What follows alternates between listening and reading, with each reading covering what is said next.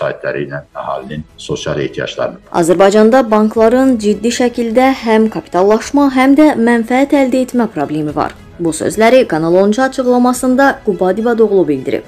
O əlavə edib ki, ölkədə əsas aparıcı 4 bank var.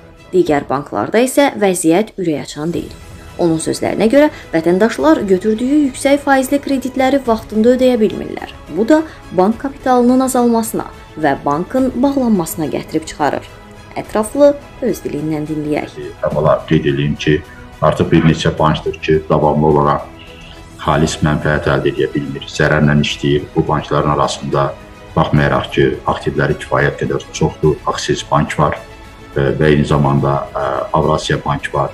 O banklar arasında belə xalis mənfəəti az olanlardan biri Günay bankdır. Eyni zamanda o banklar arasında Yapı Kredit bankda xalis mənfəəti olmayan və zərərlə fəaliyyət göstərən bankların siyasındadır. Yəni e, Muğan bankın da vəziyyəti o qədər də ürək açan deyil.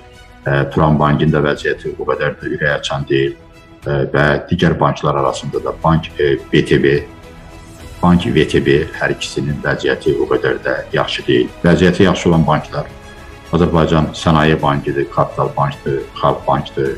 Eyni zamanda ə, vəziyyəti yaxşı olan ə, banklar arasında ə, biz təbii ki Azərbaycan Beynəlxalq Bankı və bir növ siyasi bankları göstərə bilərik. Digər bankların təsdiq olsun ki, vəziyyəti getdikcə ağırlaşır. Nəyə görə? Çünki bank kapitalında 3 dənə bankın, bank bazarında 3 dənə bankın əhəmiyyətli rolu var. Biri Azərbaycan Beynəlxalq Bankıdır, Kapital Bankdır və Paşa Bankdır. Demək olar ki, bu bankın ikisi birbaşa birbaşa deyərdim ki, elə ailəyə məxsusdur söhbət Paşa Bankdan və Kapital Bankdan gedib Azərbaycan Beynəlxalq Bankı ilə özəlləşdirməyə çıxarılır. Yəqin ki, onu da ailə özəlləşdirəcək və beləliklə Azərbaycanın bank bazarındakı kredit qoyuluşlarının, depozitlərin demək olar ki, 70-80%-nə nəzarət etmə imkanları yaranacaq və bu həm də digər bankların sıradan çıxması deməkdir və bu günləri bu digər bankların bu vəziyyətdə olmasının əsas səbəbi Azərbaycanda Kapital Bankın, Paşa Bankın və eyni zamanda Azərbaycan Beynəlxalq Bankının hakimiyyət tərəfindən dəstəklənməsi və hakimiyyət tərəfindən dövlət rüsumları və digər ödənişlərin birbaşa həmin banklarda həyata keçirilməsi ilə bağlıdır. O biri banklar təbii ki, bu rəqabətə dözə bilmirlər və gözlənilir ki, hətta yaxın zamanlarda bəzi banklar bankların nizamlama kapitalı aşağı düşsün, çünki bankların böyük problemləri həm də borclarla bağlıdır. Vaxtı keçmiş kredit borcları banklarda artır. Vaxtı keçmiş kredit borclarının artması həm də bankların nizamlama kapitalının azalmasına gətirib çıxara bilər. Bir neçə bankın nizamlama kapitalı minimum səviyyədədir. Yəni bu hansı banklardır? Ziraət bankdır, eyni zamanda Bank Avrasiyadır ə, və Azərtürk bankdır.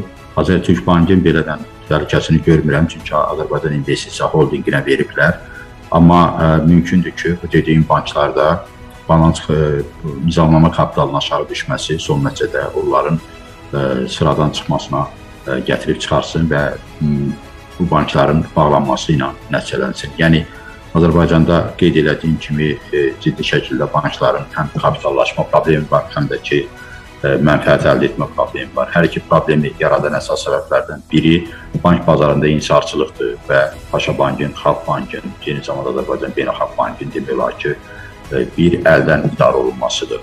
Digər səbəbi isə Azərbaycandakı mövcud investisiya mühitidir, sahibkarlıq vəziyyətidir. Bu günləri krediti yüksək faizlə alanlar bunu qaytara bilmirlər və bu da bankların borclarının banka olan borclarının artımına gətirib çıxarır. Banka olan borcların artımı son nəticədə təbii ki, e, bank e, kapitalının azalması ilə nəticələnir. Düzdür, bəzi banklar vaxtı keçmiş borcları e, hesabatlarına daxil eləmirlər, çünki daxil eləsələr onda gərək kapitallarını da azaltsınlar və bu da onların qarşısına qoyulan kapitalın təmərküzləşməsi problemini yarada bilər və ona görə onlar təhlükəsindən qorxaraq buna getmirlər. Amma gözlənilir ki, bəzi banklar qeyd etdiyim kimi e, indiki halda xalis mənfəəti olmayan banklar, yenə də Bank Avrasiya vəziyyəti e, ağırdır. Eyni zamanda e, vəziyyəti o qədər də yaxşı olmayan banklar var. Bu bankların içərisində Aksis Bank var, e, bankların içərisində Turan Bank var, Muğan Bank var, və bu bankların içərisində eyni zamanda Yapı Kredit Bank var. Düzdür, Yapı Kredit Bank bağlanmayacaq çünki Türkiyənin bankıdır. Ziraət Bank var, Ziraət Bank da bağlanmayacaq. Azərtürk Bank da bağlanması gözlənilmir. Ola bilər ki, bağlansınlar, çıxıb getsinlər öz ölkələrinə.